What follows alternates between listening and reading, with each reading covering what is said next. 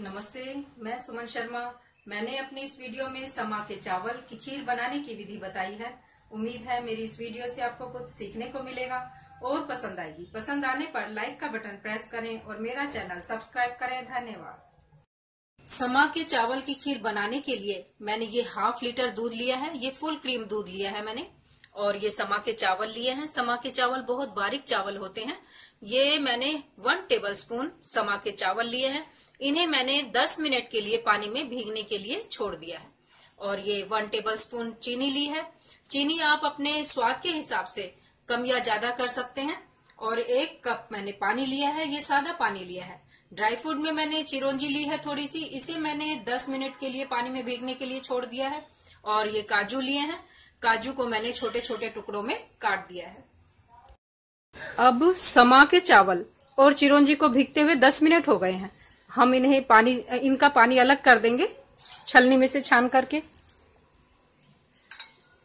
ये चावल हमने छान लिए छलनी में से। और ऐसे ही हम चिरौंजी को भी छान लेते हैं।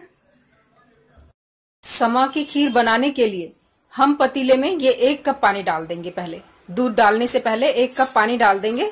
इससे दूध बर्तन के तले में नहीं लगेगा, जमेगा नहीं दूध।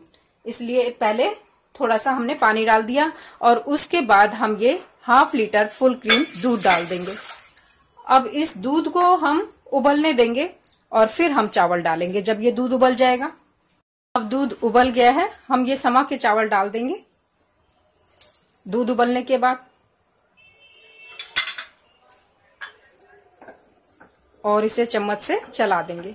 चावलों को डालने के बाद थोड़ा चम्मच से चला देंगे अब हम इन्हें अब हम इन्हें थोड़ी देर पकने देंगे।